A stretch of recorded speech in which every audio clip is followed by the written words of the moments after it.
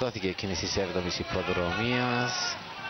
Για την πρωτοπορία ο Τσάτσος με καλή κίνηση παίρνει την πρωτοπορία και σε δυναμικά ο Λούθυρος για να πάρει αυτό στην πρωτοπορία να οδηγήσει μπροστά από το Τσάτσο, Τσακίλα πιο πίσω η Μάρβα ακολουθεί σε καλή θέση. Η Μάρβα έχει περάσει στη δεύτερη θέση.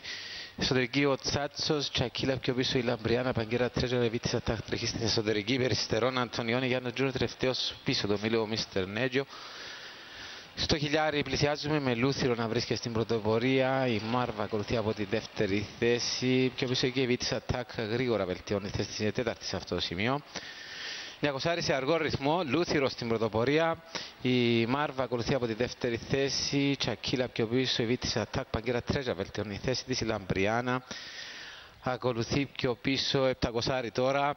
Με τον Λούθυρο να βρίσκεται στην πρωτοπορία. Στο ένα μήκος είναι η Μάρβα.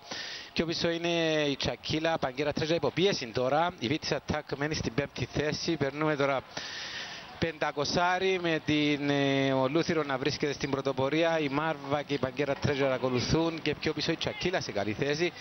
Λούθυρο στην πρωτοπορία ξεφεύγει κάπως τώρα.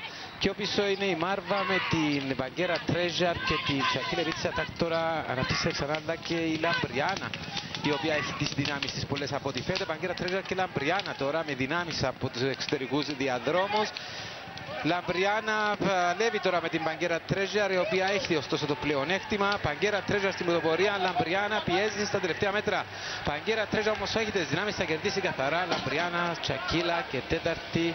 Βίτης Ατάκ.